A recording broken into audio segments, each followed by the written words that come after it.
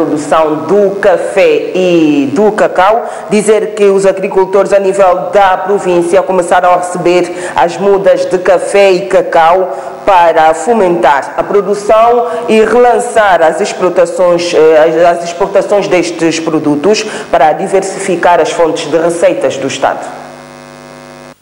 Bucuzal é tradicional na produção de café mabuba. As fazendas existentes estão a ser recuperadas pelos seus proprietários depois de longos anos de inatividade. A medida é do governo e visa diversificar a economia. Ano passado conseguiu 73 sacos de café mabuba. Vou conseguir pelo menos 100 e tal sacos por ano.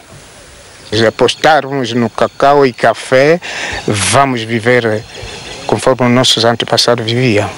Isto é uma certeza mesmo. O cacau é outra cultura de importante valor comercial da região do Mayombe. Neste particular, a localidade do Viedi, no município de Belize, segue em frente. Os cacauicultores têm a vizinha República Democrática do Congo como mercado favorável para a comercialização do cacau.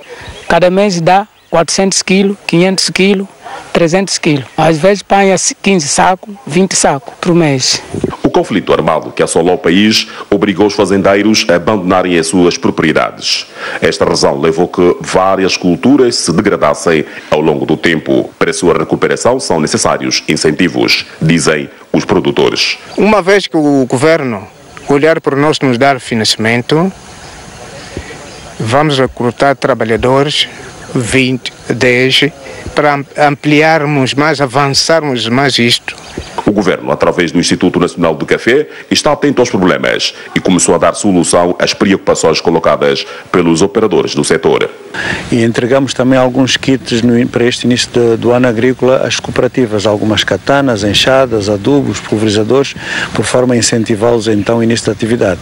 Com relação ao, ao café, eh, estamos fazendo agora os viveiros para que daqui a um ano possamos ter cerca de 150 mil plantas para distribuição aos cafeicultores. No âmbito da dinamização da produção de cacau em Cabinda, o vice-governador para a área económica visitou os agricultores e entregou mudas de cacau para o fomento e a expansão da atividade na província. Poderão ser apoiados no âmbito da estratégia para a saída da crise, utilizando os fundos que serão disponibilizados no quadro dos produtos financeiros que o governo gizou para associá-los e formar empresas de produção primária.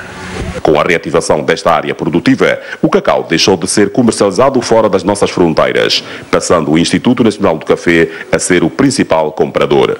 Hoje, o cacau aqui produzido serve de semente para alimentar o viveiro do município de Bocuzal, com mais de 100 mil mudas.